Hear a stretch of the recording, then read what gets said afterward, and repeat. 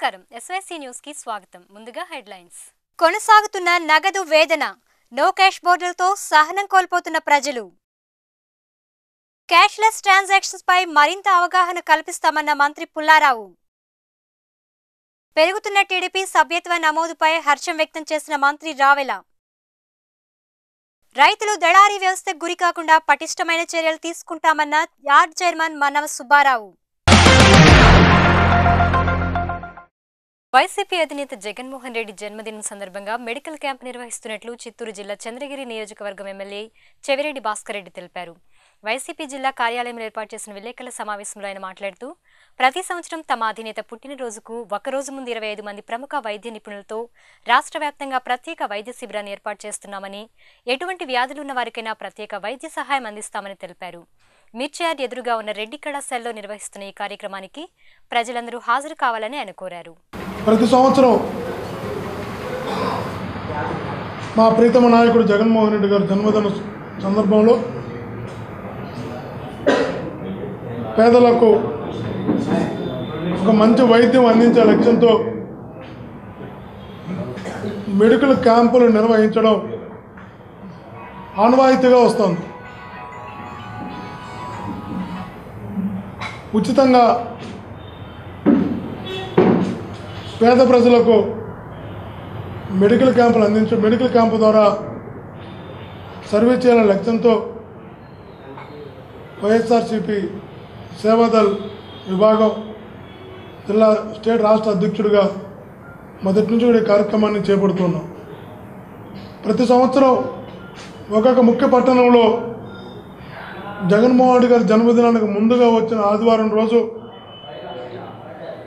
ఈ కార్యక్రమం నిర్వహించడం ఆనవాయితీగా వస్తుంది. ఆదివారం రోజు అనేక మంది ప్రముఖ వైద్య నిపుణులు రావడానికి అవకాశం ఉంటుంది కనుక ఒక రోజు కానీ రెండు రోజులు కానీ మూడు రోజులు కానీ ముందు వచ్చినప్పుడు అడ్వాన్స్గా ఆ వైద్య శిబిరాన్ని ఉచిత మెగా వైద్య శిబిరాన్ని అనేక సంవత్సరాలుగా నిర్వహించడం జరుగుతున్నది. ఆ ఆనవాయితీలో భాగంగా ఈ సంవత్సరం ఇరవై ఒకటో తేదీ మా నాయకుడు జగన్మోహన్ రెడ్డి గారి జన్మదిన శుభ సందర్భాన్ని పురస్కరించుకొని రెండు రోజుల ముందుగా పద్దెనిమిదో తారీఖు కనుక రేపు ఉదయం తొమ్మిది గంటల నుంచి సాయంత్రం వరకు సుమారు ఇరవై ఐదు మందికి పైగా ప్రముఖ డాక్టర్లతో వైద్య నిపుణులతో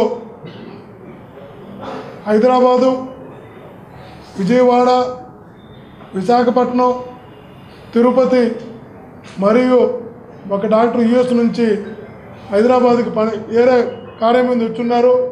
ఆయన కూడా ఇలా తెలుసుకొని స్వచ్ఛందంగా నేను కూడా ఈ కార్యక్రమం అటెండ్ అవుతాను రావడం జరుగుతుంది. కాబట్టి ఇట్లా వివిధ ప్రాంతాల నుంచి ముఖ్యంగా గుంటూరు నుంచి ఎక్కువగా ఎక్కువ మంది డాక్టర్లు ఇక్కడ నుంచి స్వచ్ఛందంగా ఈ ఉచిత వైద్య శిబిరంలో పాల్గొనడానికి రావడం జరుగుతుంది.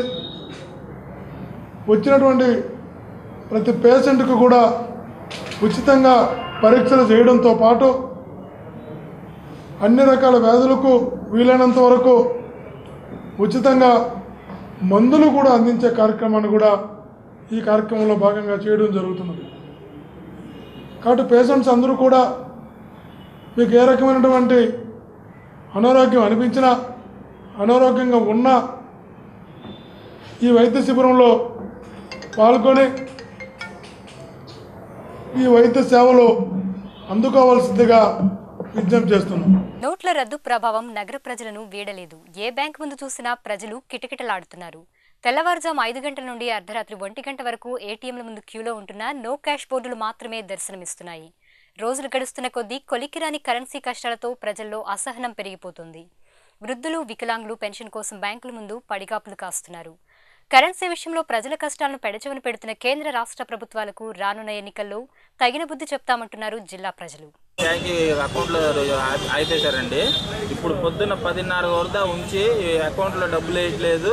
వెళ్ళి ఎక్కడో ఒక చోట వేస్తాం వెళ్ళి తెచ్చుకోండి అని చెప్పేసి రాత్రి ఒంటి గంట కానుండి ఇప్పుడు దాన్ని నుంచోబెట్టి ఈ మాట అన్నారు లోన బ్యాంక్ సభ్యులు. పనిచేసేవాళ్ళు. ఇప్పుడు అందరూ రోడ్డు మీదకి వచ్చి ఆందోళన చేస్తే ఇప్పుడు ఏ సంగతి చెప్పకుండా ఇప్పుడు దాకా ఇచ్చేసి గొడవ గొడవ అయ్యేటట్టు చేశారు. ఇళ్ళలో మాకు అంత ఇబ్బందిగా ఉన్నా కానీ వీళ్ళు పట్టించుకోవట్లేదు. లైన్లో పొద్దున్న నుండి కళాజాము నుండి రాత్రి నుండి నిలబడి ఉన్నా కానీ వీళ్ళకి ఇబ్బంది లేకుండా ఉంది.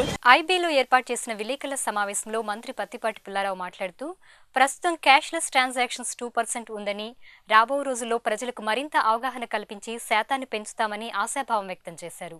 ప్రజలు అవసరం ఉన్న దానికన్నా ఎక్కువగా దాచుకుంటూ ఇబ్బందులకు కారణమవుతున్నారని వారానికి వంద కోట్ల పంపిణీ అవసరం ఉంటుందని అన్నారు. కార్యక్రమంలో కలెక్టర్ కాంతిలాల్ దండే వివిధ బ్యాంకుల అధికారులు పాల్గొన్నారు. నిన్న గౌరవ ముఖ్యమంత్రి గారు కేబినెట్లో కూడా సహనాన్ని పరీక్షించొద్దని ముఖ్యమంత్రి గారు కూడా స్పష్టంగా చెప్పారు. సఫిషియంట్ డబ్బులు పంపాలి. అందుకనే నిన్న ముఖ్యమంత్రి గారి చొరవతోటి తిరుపతికి ఆరు వందల యాభై కోట్లు వచ్చింది. విజయవాడకి ఇప్పుడు ఇరవై ఐదు వందల కోట్లు వచ్చింది. వైజాగ్ ఇరవై ఐదు వందల కోట్లు వెళ్తుంది అనేటువంటిది మైసూరు ఏదైతే ప్రింటింగ్ ప్రెస్ నుంచి సమాచారం ఇచ్చారు.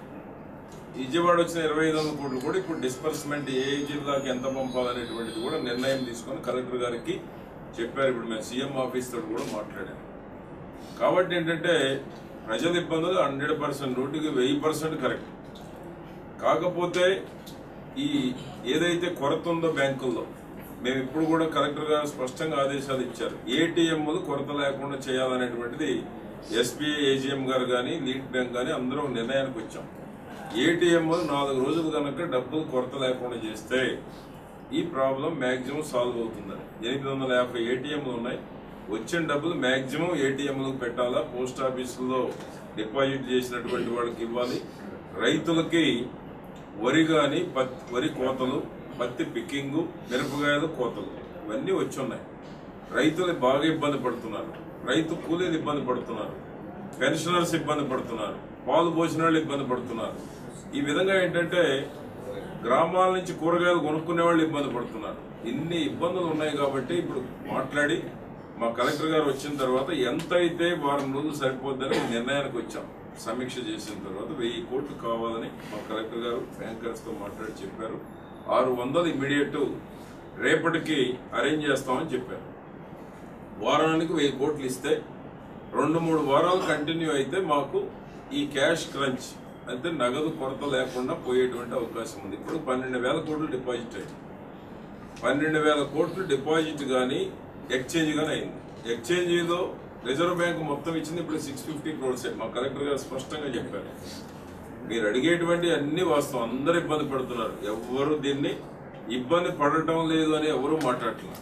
ముఖ్యమంత్రి గారు చొరవ తీసుకోబట్టే కొంతమేరకైనా పరిష్కారం అవుతుంది. ముఖ్యమంత్రి గారు మార్నింగ్ ఈవినింగ్ మధ్యలో కూడా మాట్లాడుతున్నారు.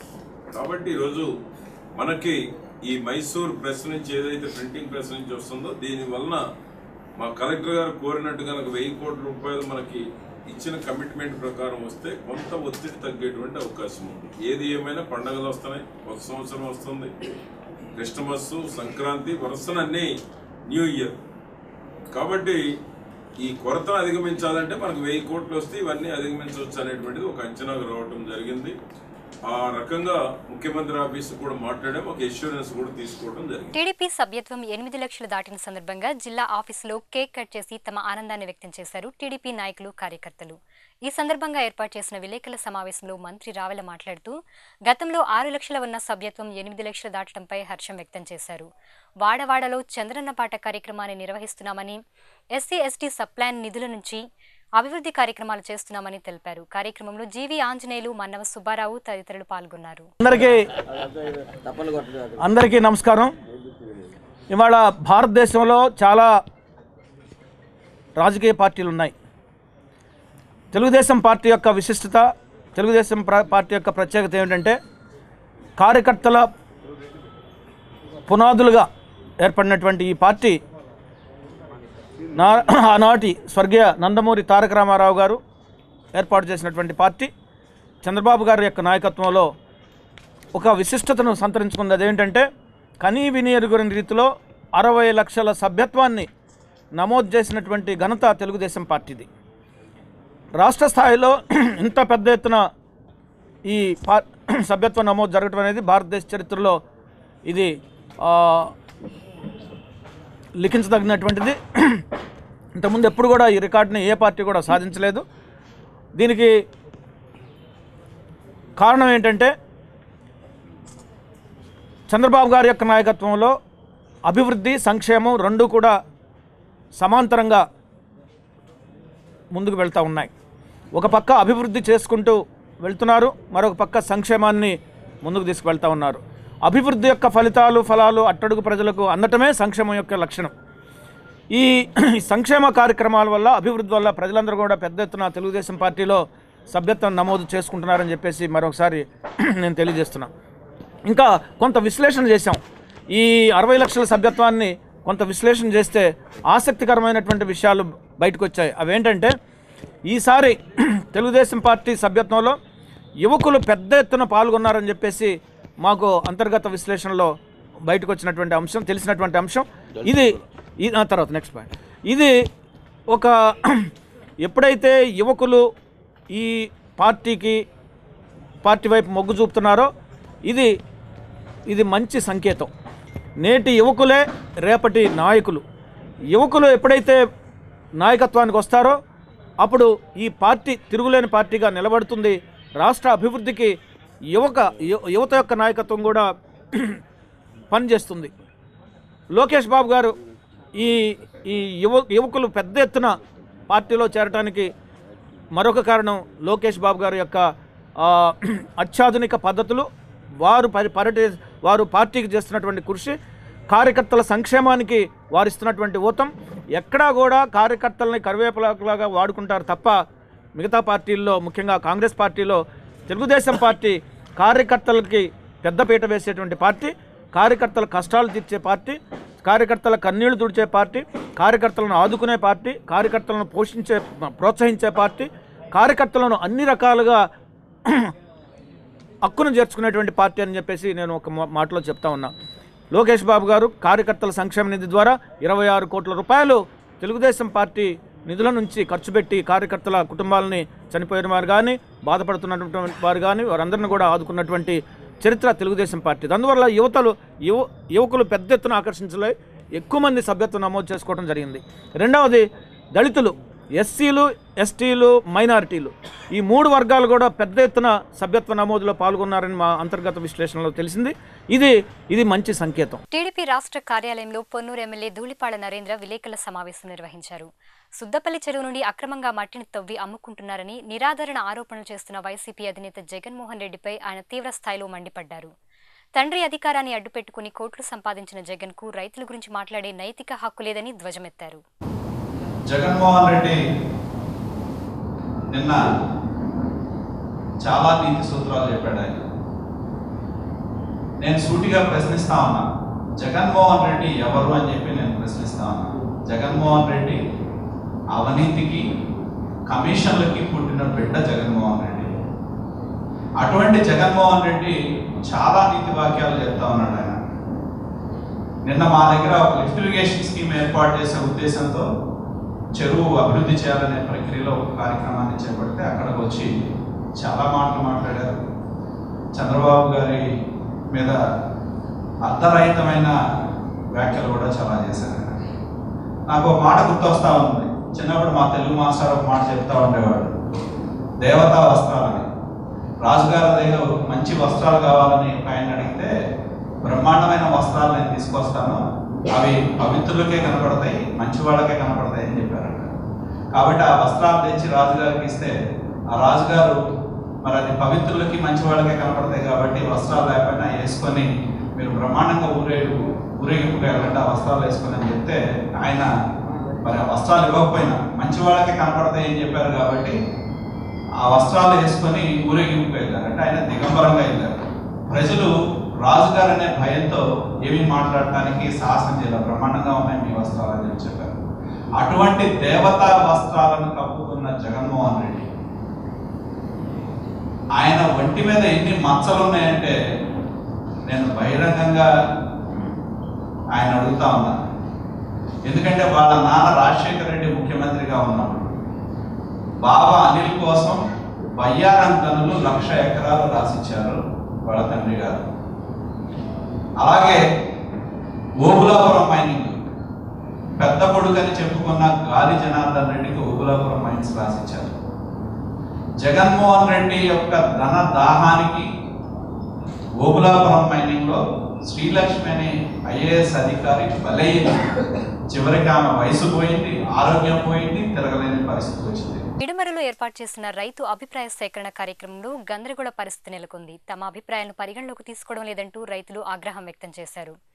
రైతులు అడిగిన ఏ ప్రశ్నలకు సర్వే అధికారులు సమాధానం ఇవ్వకుండా వెనుకడుగు వేయడంతో సభ జరపకుండా రైతులు అడ్డుకున్నారు. గతంలో తమకిచ్చిన హామీలన్నీ నెరవేర్చాలని నాలుగు నెలలుగా ఆగిపోయిన పింఛను వెంటనే విడుదల చేయాలని తీవ్రంగా హెచ్చరించారు. జిల్లా కాంగ్రెస్ పార్టీ కార్యాలయంలో ఏర్పాటు చేసిన విలేకరుల సమావేశంలో మక్కిన మల్లికార్జునరావు మాట్లాడుతూ నోట్లు రద్దు చేసి ప్రజల జీవితాలతో ఆడుకుంటున్న కేంద్ర రాష్ట్ర ప్రభుత్వాల తీరుకు నిరసనగా ఈ నెల ఇరవై ఐదో తేదీన పీసీసీ ఆధ్వర్యంలో వెలగపూడిలోని సచివాలయం ఎదుట ధర్నా మరియు నిరసన కార్యక్రమం నిర్వహిస్తున్నట్లు తెలిపారు. అన్ని పార్టీల సంఘాల వారు ప్రజలు హాజరై కార్యక్రమాన్ని జయప్రదం చేయాలని కోరారు.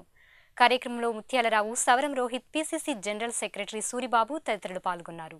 ఇరవై మూడవ తేదీన పీసీసీ ఆధ్వర్యంలో మన రాష్ట్ర సచివాలయం ఉన్నటువంటి వెలగపూడి ప్రాంతంలో ఈ పెద్ద నోట్ల రద్దు మీద పీసీసీ ఆధ్వర్యంలో ఒక ధర్నాని నిరసన కార్యక్రమాన్ని ఏర్పాటు చేయడం జరిగింది. ఈ కార్యక్రమం ముఖ్య ఉద్దేశం కేంద్ర ప్రభుత్వం పెద్ద నోటును రద్దు చేసిన తర్వాత దరిదాపు ఈ రోజుకి ముప్పై ఎనిమిది రోజులు దాటినప్పటికీ ఇంకా మధ్యతరగతి పేద రైతులందరికి సంబంధించి కూలీలకు సంబంధించి కూడా ఈ సమస్య జటిలం అయ్యి సామాన్యులందరూ కూడా చాలా ఇబ్బంది పడుతున్నటువంటి పరిస్థితుల్లో ఇప్పటి వరకు కూడా వేచి చూడటం జరిగింది.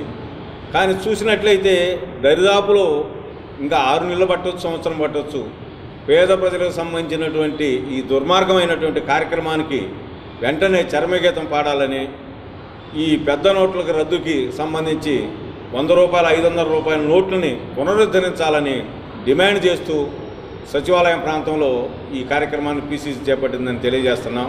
దీనికి సంబంధించి జిల్లాలో ఉన్నటువంటి అందరూ కూడా అన్ని వర్గాల వారిని కూడా ఇది కాంగ్రెస్ పార్టీ చేపట్టినప్పటికీ అన్ని పార్టీలని అన్ని సంఘాలను కలుపుకొని ఈ కార్యక్రమాన్ని విజయవంతం చేయాలనే దానికోసం ఈ రోజున జిల్లాలో ఉన్నటువంటి పెద్దలందరితో ఈ కార్యక్రమాన్ని ఏర్పాటు చేశామని సందర్భంగా తెలియజేస్తూ దీన్ని విజయవంతం చేయాలి జిల్లాలో ఉన్నటువంటి కాంగ్రెస్ పార్టీ శ్రేణులందరికీ కూడా పిలుపునిస్తున్నాం. రైతు సంరక్షణే ధ్యేయంగా రైతు దళారీ వ్యవస్థకు గురి కాకుండా పటిష్టమైన చర్యలు తీసుకుంటున్నట్లు market yard chairman Mannava Subbarao తెలిపారు.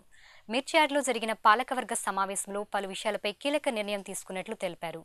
రెండు వేల ఎనిమిది అగ్ని ప్రమాదం నిధులను దుర్వినియోగం చేసిన వారిపై కఠిన చర్యలు తీసుకుంటామని అన్నారు.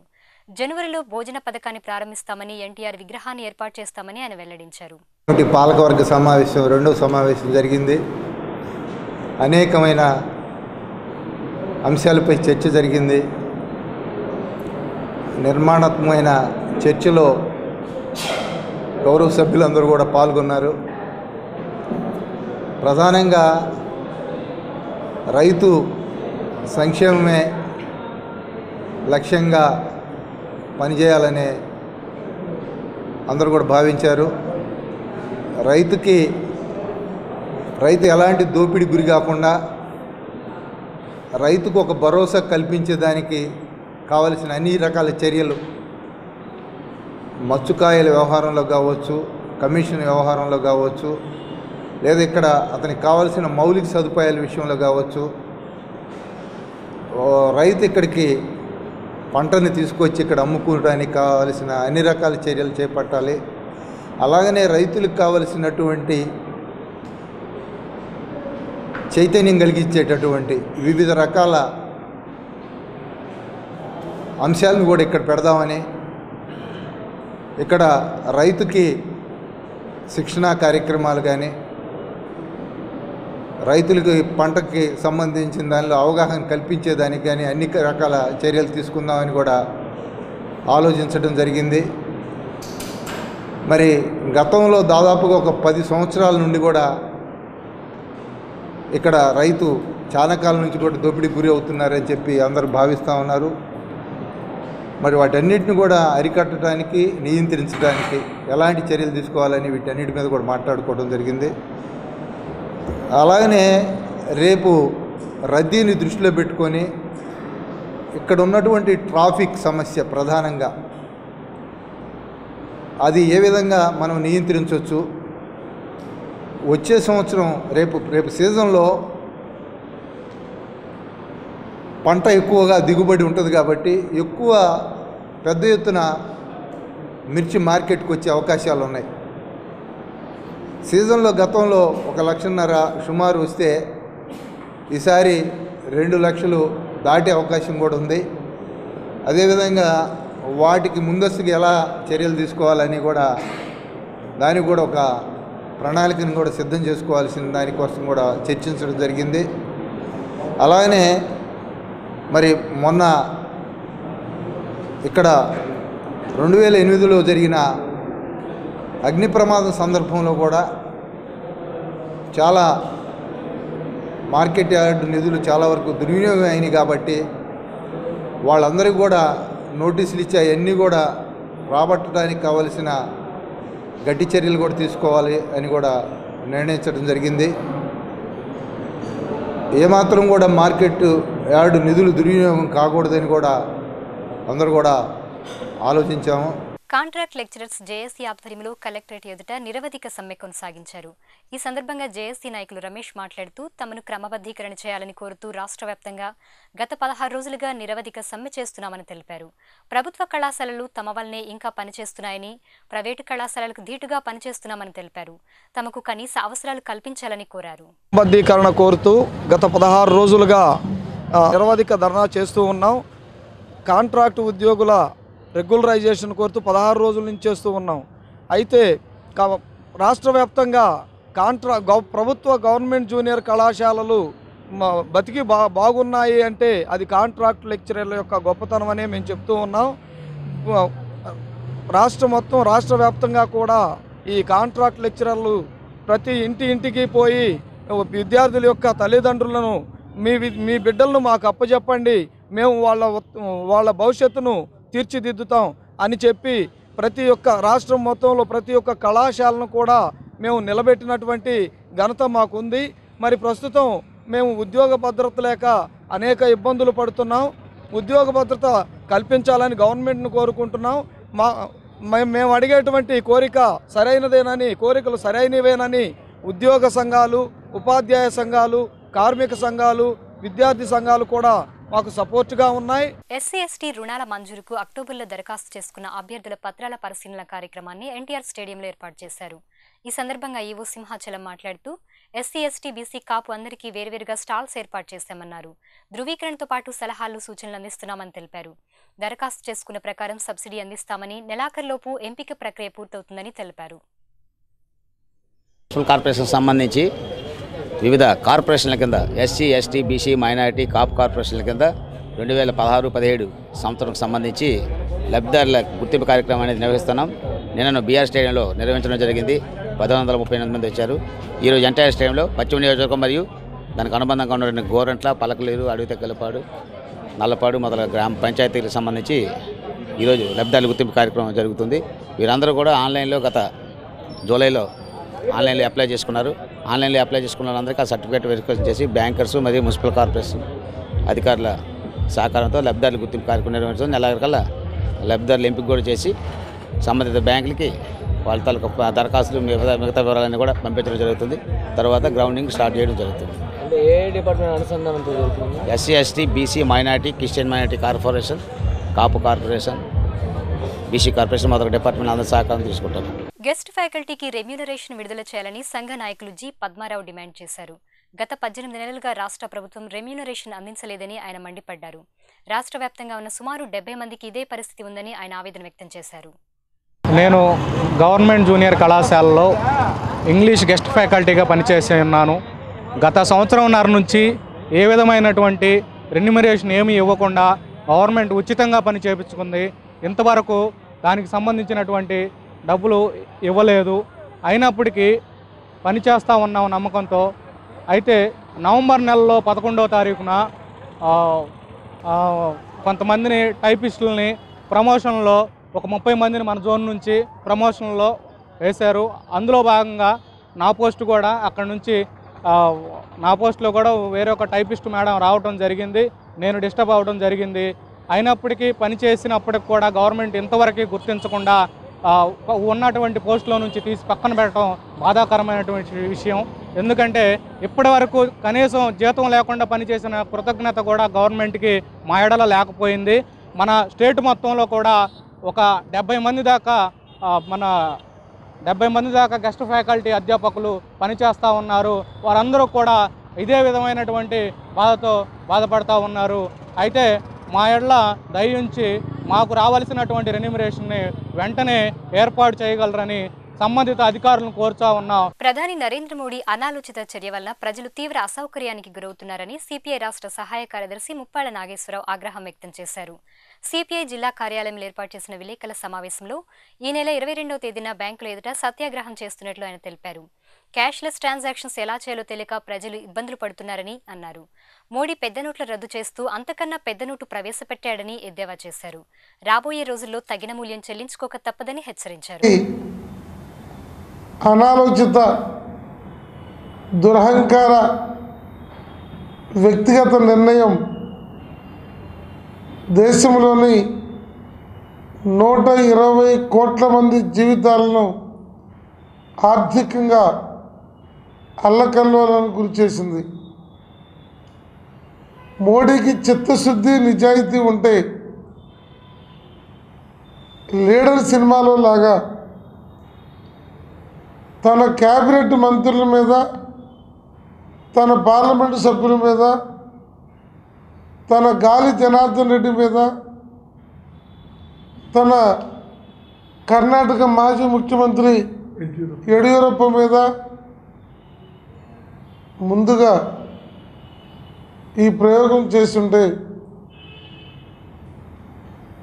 దేశంలో ఆయన కీర్తి పెరుగుండేది. క్యాబినెట్ సహచరుల ఆలోచన కూడా తీసుకోకుండా కేవలం రిలయన్స్ కుటుంబ సభ్యుడిగా ఈ పాపానికి ఒడిగట్టాడు. డిసెంబర్ నెలాఖరు దాకా గడువమని చెప్పినా ఆగిపోయిన పెళ్ళిళ్ళు ప్రాణాలు కోల్పోయినటువంటి కుటుంబ యజమానులు భర్తల్ని తండ్రుల్ని కోల్పోయినటువంటి ఆ కుటుంబాలకి ఎవరు బాధ్యత వహించాలి? ఇవాళ మన ఎంపీ రాయపాటి సాంబశివరావు గారు చెప్పినట్లుగా నరేంద్ర మోడీ పూసుకున్న బురదను కడిగే బాధ్యతని ముఖ్యమంత్రుల టీం పెట్టి ఆ ప్రధాన కడిగే వ్యక్తిగా చంద్రబాబు నాయుడుకి బాధ్యత అప్పచెప్పారు. పాపం కొంత తటపటాయించిన తర్వాత ఆమోదించి ఇప్పుడు ప్రజలను మోసం చేసేదానికి సిద్ధపడ్డారు. ఈ క్యాష్లెస్ కరెన్సీ రద్దు చేసిన రోజు రాత్రి నరేంద్ర మోడీ నోట రాలా. అదే రోజు రాత్రి చంద్రబాబు నాయుడు నోట రాలా. ఇవాళందరూ క్యాష్లెస్ కరెన్సీ ప్లాస్టిక్ కరెన్సీ కార్డులు గీయండి గీకండి అని చెప్తున్నారు. ఇక ఈ బులెటిన్ ఇంతటితో సమాప్తం. తిరిగి మరో బులెటిన్తో మళ్ళీ కలుద్దాం. అంతవరకు సెలవు నమస్కారం. వార్తలు మీకు సమర్పించిన వారు ఎల్ఎన్ డైరీ పాలు. రుచికి రుచి శుచికి శుచి.